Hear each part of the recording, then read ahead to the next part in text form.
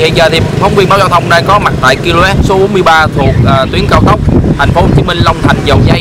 Uh, đây là điểm đầu của tuyến cao tốc uh, dầu dây Phan Thiết. Uh, với cái việc mà tuyến cao tốc này được đưa vào hoạt động thì uh, lộ trình mà các phương tiện di chuyển từ thành phố Hồ Chí Minh ra Phan Thiết sẽ được rút ngắn chỉ còn 2 giờ đồng hồ so với 4 giờ đồng hồ nếu di chuyển trên uh, tuyến quốc lộ 1 như ngày trước. Chỉ còn 4 ngày nữa là tuyến cao tốc dầu dây Phan Thiết chính thức thông xe. Các công nhân đang chạy nước rút để hoàn thành những hạng mục cuối cùng, bàn giao đưa vào khai thác.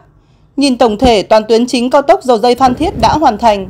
Những việc còn lại là sơn kẻ làn đường, thi công hộ lan hàng rào.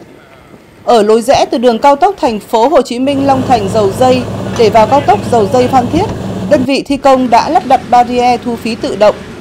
Tuy vậy, khối lượng vẫn còn khá nhiều nên các công nhân phải làm việc cật lực cả ngày lẫn đêm, thứ bảy chủ nhật trong suốt thời gian qua. Có thể nói, những ngày qua là thời gian chạy đua của các nhà thầu để hoàn thành các hạng mục công trình đưa vào khai thác, phục vụ người dân đi lại dịp lễ 30 tháng 4.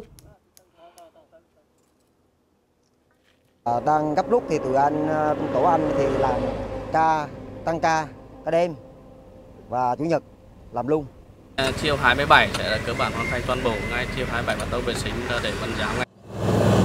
Cao tốc dầu dây Phan Thiết có chiều dài 99 km, tiếp giáp với cao tốc thành phố Hồ Chí Minh Long Thành dầu dây tại km 43 và đi đến Phan Thiết. Với thiết kế 4 làn xe hoàn chỉnh, mỗi bên có một làn dừng khẩn cấp, tốc độ tối đa cho phép lưu thông là 120 km/h.